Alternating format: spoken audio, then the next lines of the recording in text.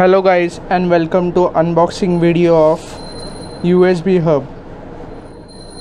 I have bought this usb hub from amazon at 119 that is 119 rupees. These are some spec uh, specifications.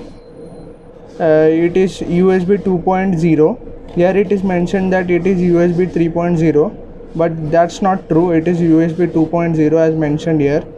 It is supported by mac and windows. I don't think so. Mac and windows are necessary. We can even use this on linux machine. These are some normal specifications. Plug and play as we know these usb devices are plug and play. Uh, these specifications are product specifications which are given LED indication and all. System requirement Windows Vista and all. Its weight is just 15 grams. And these are some features of this. Here here it is mentioned that it is also supported by Linux OS independent supply provided for connection drives and all.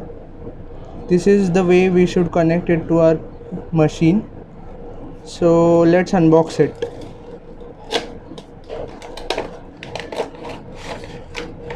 here is our product. So it have four USB connectors. One over here and three over here. It also has on off switch. And this is connector which we have to connect to our so this is our USB slot which we will uh, connect to our PC so this is on off button as I tell. Uh, this is the indicating light which will turn on. It is blue light which will turn on when uh, this USB will be connected to our computer. So let's check this USB hub by connecting it to our computer. So now we will connect this USB to our PC or laptop. We will connect this to this port over here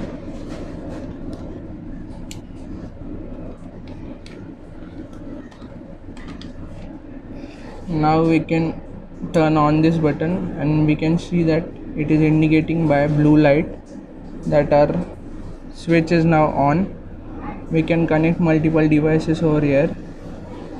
We will try to connect our uh, mouse to this. Hub this is our mouse.